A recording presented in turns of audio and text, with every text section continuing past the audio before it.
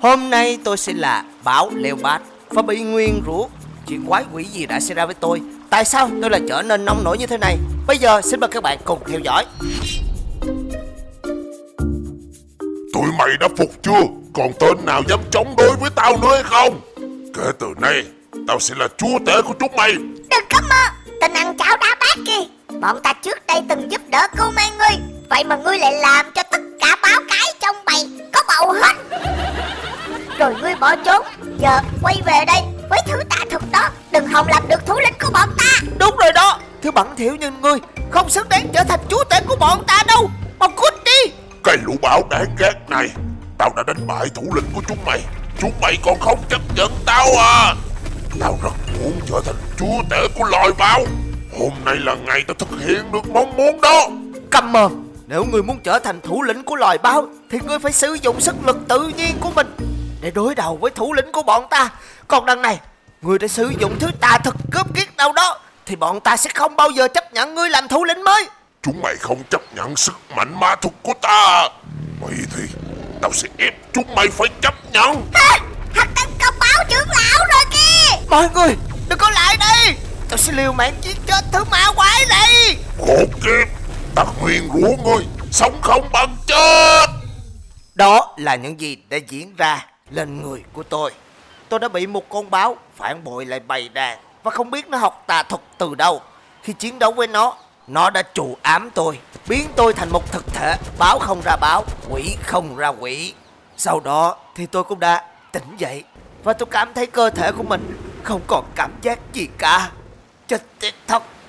À, Nhưng Nhưng đồng loại báo của tôi. Này Này Mọi người Mọi người! à! Cậu à báo trưởng lão Cậu bị tên khôn đã biến thành ra thế này Vẫn sống được hay sao?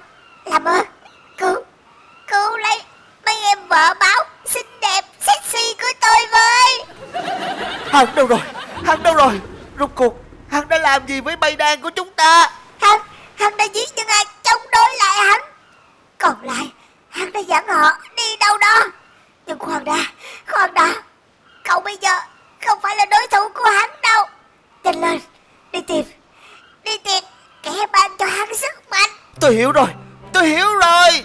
Dưới sự dặn dò của đồng đội tôi Tôi cũng nhanh chóng lên đường Để tìm kiếm một nhân vật.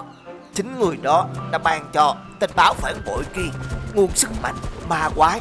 Tôi phải kể hết tất cả mọi chuyện cho người đó nghe Để hy vọng người đó thu lại phép thuật của hắn. Đau quá Đau quá Ta cho ta Ta cho ta. Ta không làm gì hại các ngươi. Sao các ngươi muốn ăn thịt ta chứ? À! Chết tiệt Là lũ raptor bắn thiếu Thừa cơ hội người khác gặp nạn Để tấn công xé xác họ. Anh bạn hãy cẩn thận. Cứu tôi Cứu tôi nhanh lên. Tôi vô tình Bị rớt xuống nước Ướt hết cánh Không bay được. Lên trên bờ để phơi nắng. Thì Thì lũ khủng long khốn kiếp này tới đây. Nhổ hết lông tay lông chân lông nách Ngay cả lông cháy ớt của tôi cũng không tha Thôi, Được rồi. Tôi đã giải quyết xong bọn chúng. Anh bạn không sao chứ? Nhưng khoan Anh anh bạn là loài gì? Sao trông quái lạ thế này? Tôi là một sư tử đầu chim thần thoại. Còn cậu Sao chỉ có bộ xương không thế này? Thôi, Tôi là một con báo leo bát. Bị một con báo leo bát phản bội khác học được tà thuật. Nó nguyền rủa tôi. Thành ra thế này. Gì chứ? Cơ thể của cậu bị nguyên rủa à? Vậy thì hãy mau theo tôi. Tôi sẽ nhờ cha tôi Giúp cậu thoát khỏi tình cảnh này. Nhưng Nhưng rốt cuộc Cha cậu có khả năng gì mà có thể giúp được tôi? Nhanh chóng lên đường nào Vừa đi tôi sẽ kể cho cậu nghe. Thì ra cha của chú sư tử đầu chim này Là một phù thủy. Ông ấy thường đi khắp mọi nơi cùng con của mình Để giúp đỡ muôn loài khác. Cách đây mấy tháng Ông ấy đã cứu một con báo Và nó đã xin ông ấy làm đệ tử Để học phép thuật. Nhưng thật không ngờ. Trời trời Con về rồi đây. Tí nữa thì con mất mạng Nhưng nhờ chính anh bạn báo này đã cứu con. Nhưng Nhưng cậu ấy đã bị chính đồ đệ của cha Gieo dắt một lời nguyền rủa lên trên người. Bây giờ thành ra thế này nè. Cái gì chứ? Tình đồ đệ báo của ta Dám sử dụng phép thuật bậy bạ Để hại chính đồng loại của mình à? Người mau bước lên đây Hỗn kiếp thật Một lời nguyên rủa thật độc ác. Thì ra ông chính là người đã truyền cho tên phản bội đó phép thuật. Làm ơn hãy lấy sạch phép thuật từ cơ thể hắn Và và giải lời nguyền từ cơ thể tôi được không? Trời sẽ giận cha Rồi con sẽ nhịn ị 10 ngày 10 đêm Cho cha sợ chết luôn. Bình tĩnh nào. Lời nguyền mà hắn trút lên người của ngươi Chỉ trừ khi giết chết hắn Thì lời nguyền mới xóa bỏ. Còn phép thuật mà ta dạy cho hắn Không thể nào thu hồi lại được. Vậy, vậy bây giờ phải làm sao? Chỉ còn một cách duy nhất Ta sẽ trút thêm lên người ngươi một lời nguyền rủa sức mạnh mới. Giúp người mạnh hơn Đạt một trạng thái phi thường hơn. Rồi chính ngươi đi tìm tên khốn đó Giết chết hắn. Hay quá, hay quá Cảm ơn ngài, cảm ơn ngài. Nhờ chú sư tử đầu chim nhỏ bé kia Tôi đã gặp được cha của cậu ấy Là một phù thủy vô cùng mạnh mẽ.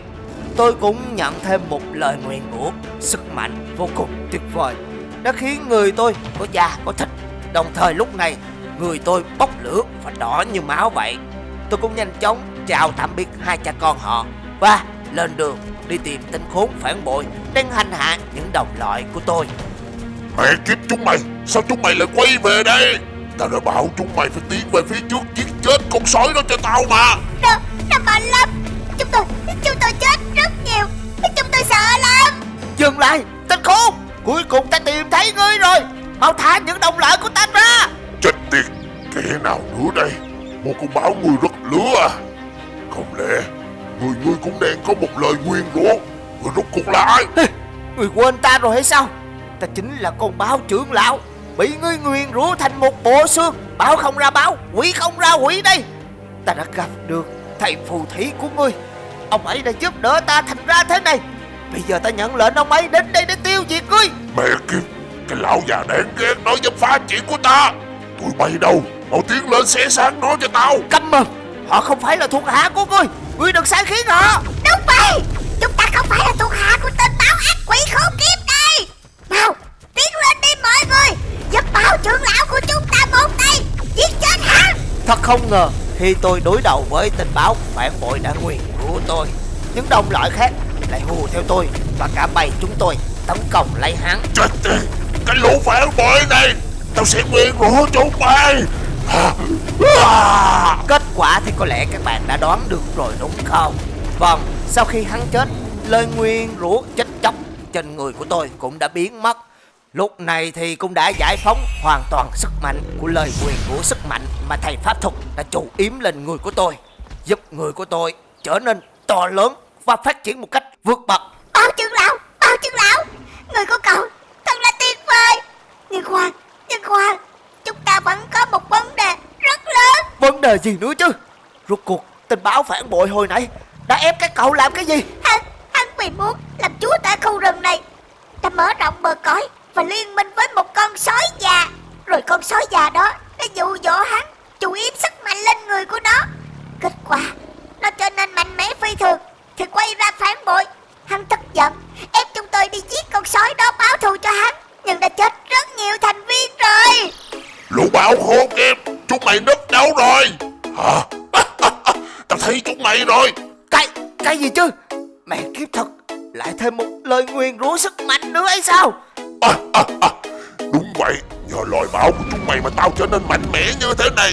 Nhưng thật đáng tiếc Tao là một kẻ phản bội ăn cháo đá bạc. Tao sẽ giết sạch loài báo của chúng mày Để một mình tao thống trị cả khu rừng này. Thư báo bị nguyền rủa sức mạnh giống như tôi nó rất mạnh mẽ. Một luồng sát khí màu đỏ tỏ ra khắp mọi nơi. Chưa hết, Trong cơ thể của nó Tỏ ra một luồng sức mạnh màu đen Vô cùng khủng khiếp. Nhưng cũng may, Trong người của tôi Vẫn có một lời nguyền rủa sức mạnh như nó. Nên hai bên cắn xé lẫn nhau, Bất phân, thắng bại. Báo trưởng lão ơi! Báo trưởng lão ơi! Lúc con sói khốn kiếp này chưa bị nghiền rủa, Dưới chân của nó có một vết sẹo rất lớn. Cậu hãy tấn